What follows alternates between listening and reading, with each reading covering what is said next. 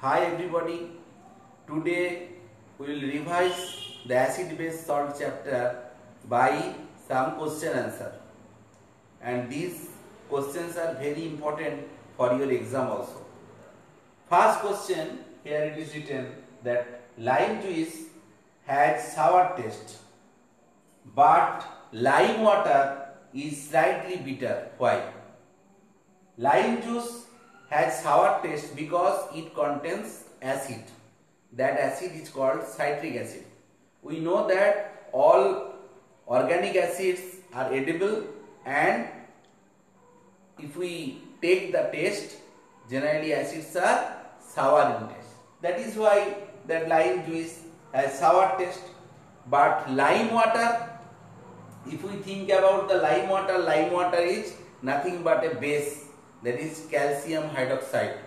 All of we know that generally bases are slightly bitter in taste. So that is why lime water is slightly bitter. So here first I am writing the structure of citric acid.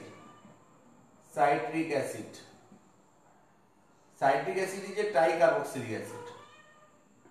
CH2CHH COH CHH and CH2COH. This is citric acid. Now if we think about the lime water, lime water is calcium hydroxide. So you can easily understand this one is a tricarboxylic acid and this one is a base. So it will it is sour in taste and it is bitter in taste. So next question will discuss. Our next question is question number 2 the heat of neutralization reaction of strong acid with strong base of strong acid with strong base is always same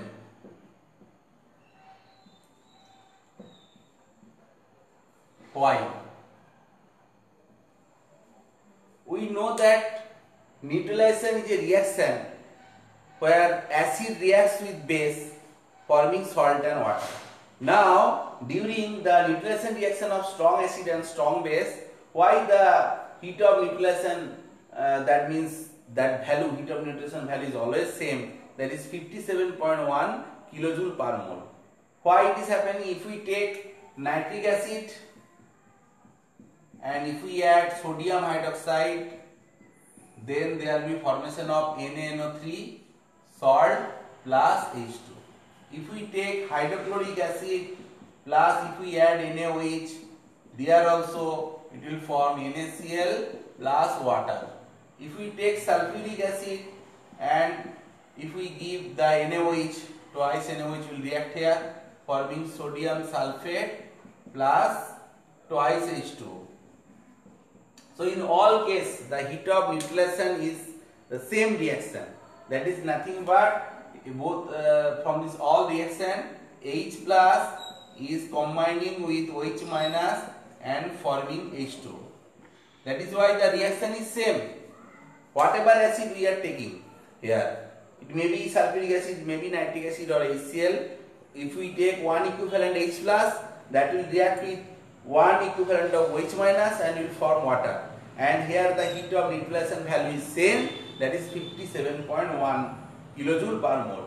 That is why the heat of neutralization reaction for strong acid and strong base is always same. Hope you can understand. So next we will go to the question number 3.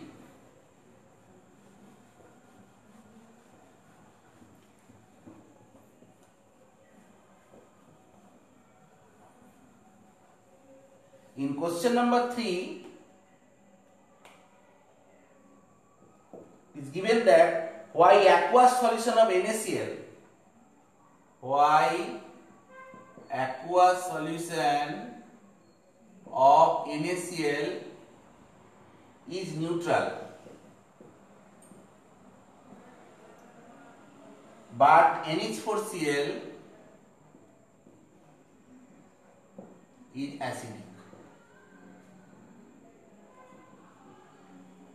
So we have already discussed that why NaCl solution, aqueous solution is neutral. Because NaCl is forming from a strong acid HCl and a strong base NaOH. So here in the solution if we have that means if we in NaCl if we add water it is not easily hydrolyzed. So there is no hydrolysis reaction here also. And otherwise if we think in the solution the concentration of H plus and OH minus are almost same or equal that is why it is the the solution is neutral so the aqueous solution of sodium chloride is neutral so here we know that NaCl, if we add water, there will be no hydrolysis reaction, no reaction.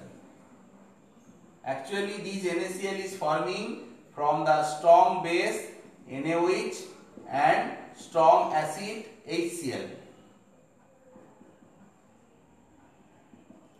So, that is why, so there will be no hydrolysis reaction and concentration of H plus and OH minus is same here so the solution is neutral or pH will be 7. But in case of ammonium chloride, ammonium chloride is a salt which is formed from the reaction of a strong acid HCl and a weak base ammonium hydroxide. So ammonium chloride if we add water then it will be forming NH4OH plus HCl. So as in the solution concentration of H plus is greater than the concentration of H minus ion. So the nature of the solution will be acidic. Hope you can understand. That is why the aqueous solution of sodium chloride is neutral but ammonium chloride is acidic in nature.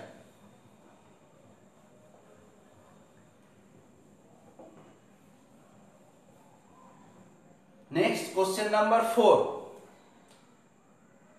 Question number 4 is given that why a universal indicator is more meaningful. Why a universal indicator is more meaningful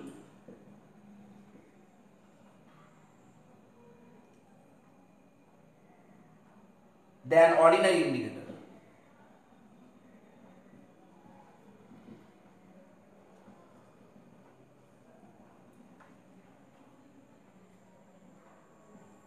we know that universal indicator is an indicator where mixture of dyes are present and in case of universal indicator we can tell whether the solution is acidic or basic as well as we can predict the strength approximately strength of the solution so if we have universal indicator if we check one acidic solution we can approximately tell the pH of the solution from the pH value, we can easily compare the different types of solution strength, whether uh, in case of acid, whether it will be strong acid or weak acid, or in case of base, it will be strong base or weak base. But if we think about ordinary indicator like litmus, methyl orange phenolphthalein, and this indicator will only can indicate the solution nature, whether it will be acidic or basic, but it cannot tell about the pH or the strength of the solution. So that is why in universal indicator is more meaningful compared to the ordinary indicator. Question number 5.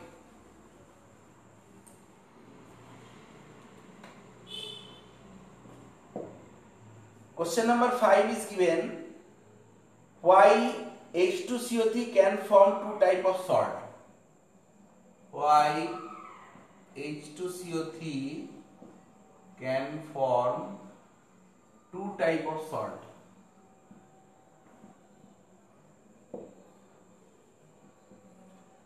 So all of you know that H2SO is nothing but carbonic acid.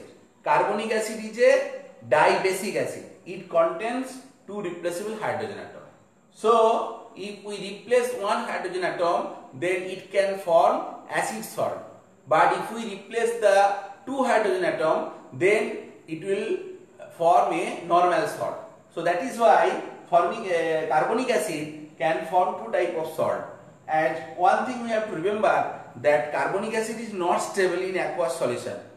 Generally, if we pass carbon dioxide in water at high pressure and low temperature, carbonic acid is formed. Carbonic acid in solid state it is stable, but whenever water is present, that means in aqueous solution it is not at all stable and it will be stable at very low temperature and high pressure. Now here I am drawing the structure of carbonic carbonic acid.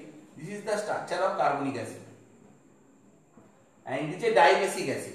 Now if we add sodium hydroxide 1 mole then first it will form sodium bicarbonate.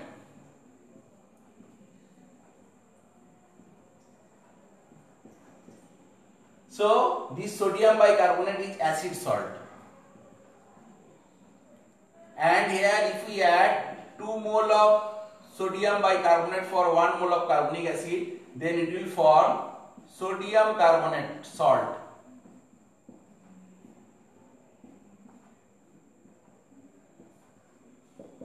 Plus twice H2. Now this is a normal salt. Now why it is acid salt? Because in this salt there is one replaceable hydrogen or this acid is partially replaced by base but in case of uh, sodium carbonate there is no replaceable hydrogen or it is the completely neutralized or completely replaced hydrogens okay so that is why this is called normal salt and we can understand from this uh, discussion we can easily understand why H2CO3 can form two type of salts. Next question number 6.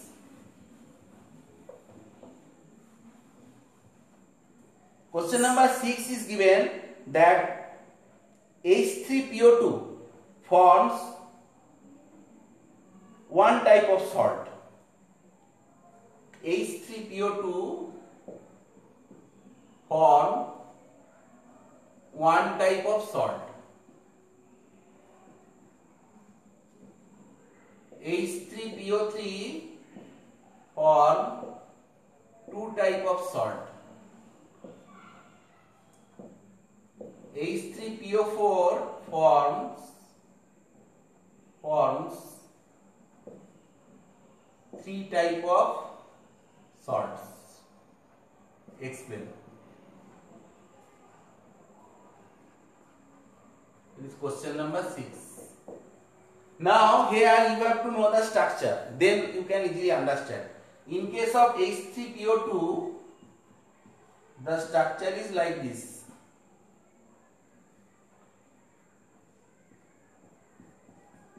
And the name of this compound is hypophosphorous acid. So as here only one replaceable hydrogen atom, so if we add sodium hydroxide, then there is formation of only one salt, that is normal salt, NaH2PO2. This is a normal salt.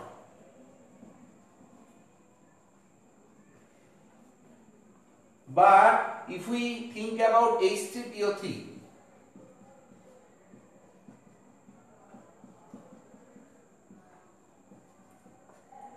In case of H3PO3, here two replaceable hydrogen atoms are present.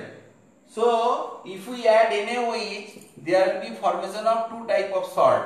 One will be NaH2PO3. Another will be Na2HPO3. So, this one is acid salt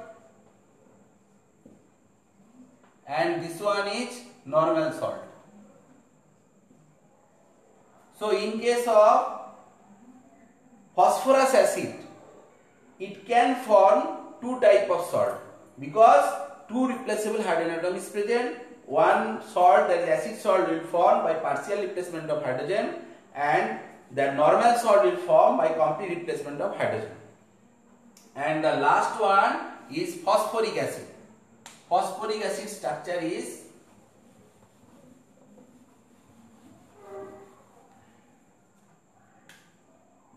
P double one O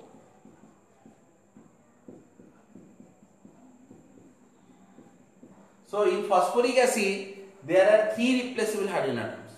So it can form sea salt because when it will react with NaOH first it will form two type of acid salt.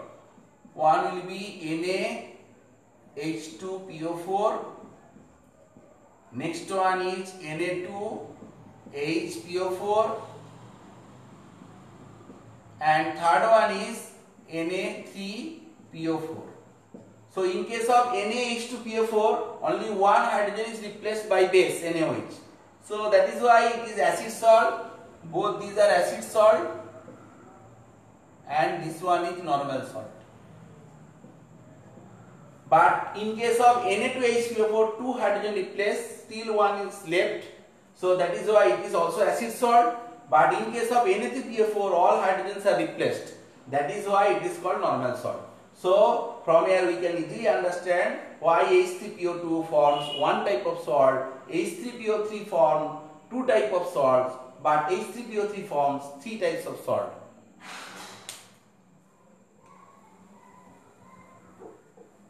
Discuss question number 7.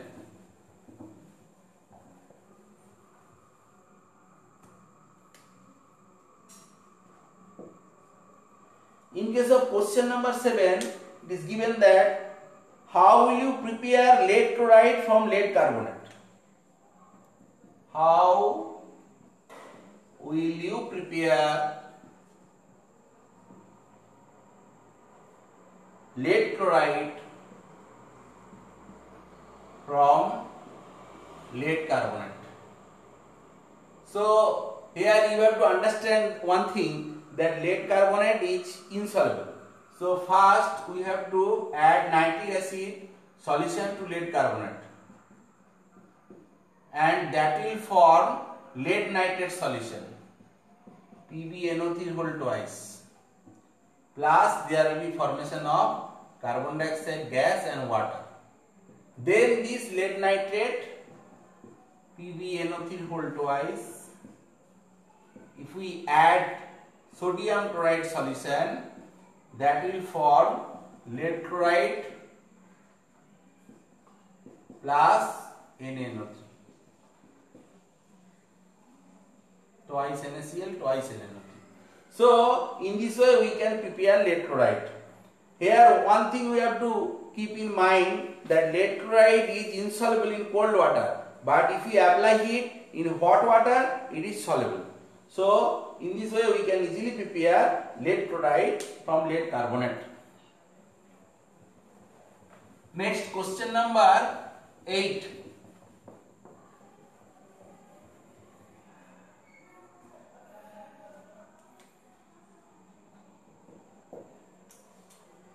How will you prepare zinc carbonate from zinc? How? So here zinc is a metal. So you have to prepare zinc carbonate and zinc carbonate is insoluble in water. So first we have to convert zinc into corresponding water soluble salt. So if we add zinc plus dilute H2SO4 that will produce zinc sulfate plus H2. Now this zinc sulfate if we add sodium carbonate solution that will produce zinc carbonate plus Na2SO4. So there will be precipitation of zinc carbonate and if we filter then sodium carbonate will be in the solution and we can easily separate the zinc carbonate. Okay. So in this way we can easily prepare zinc carbonate. Next question, question number 9.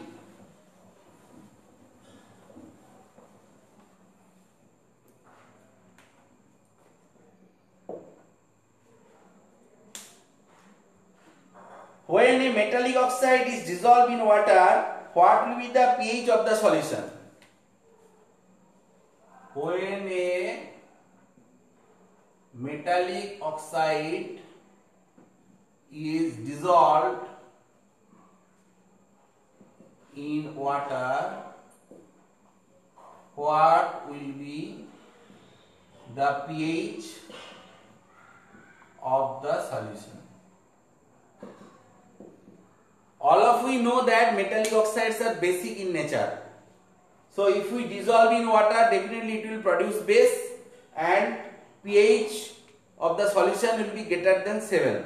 If we think one example, then we can easily understand. If we take magnesium oxide, it is a metallic oxide.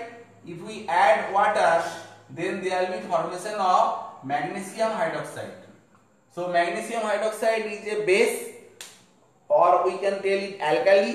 Okay, um, that is uh, water soluble base. Okay, so now the if we uh, check the pH of the solution, definitely the pH will be greater than 7.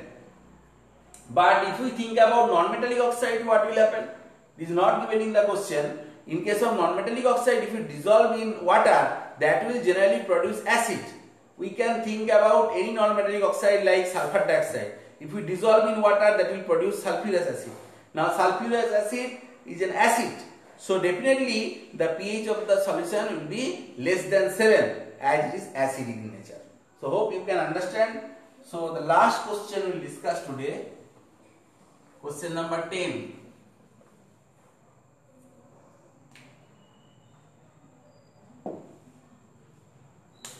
How will you increase the pH of a solution? How will you increase or decrease the pH of a solution? We know the pH scale from 0 to 6.9 it is acidic and at 7 it is neutral and from 7.1 to 14 it is basic. So this scale is generally prepared at the temperature 25 degree centigrade. Now here in the question how do you increase or decrease the pH of a solution? So if we want to increase any type of solution, if we take water then if we add acid it pH will decrease but if we add base or alkali, generally uh, pH will increase. Or any type of solution, it may be acidic solution. If we add base, definitely its pH will increase. But any kind of solution, if we suppose it is a basic solution also, if we add acid, pH will decrease. So what will be the answer of your question? How you increase or decrease the pH of a solution? So to increase the pH of a solution, we have to add basic solution or alkaline solution into the particular that solution. But if you want to decrease the pH of a solution, we have to use acid. So, in this way we have completed the revision of this acid base salt chapter. Hope all of you can understand. If you have any problem, you can contact me through my email address or you can call me by phone Okay. So today up to this, thank you very much.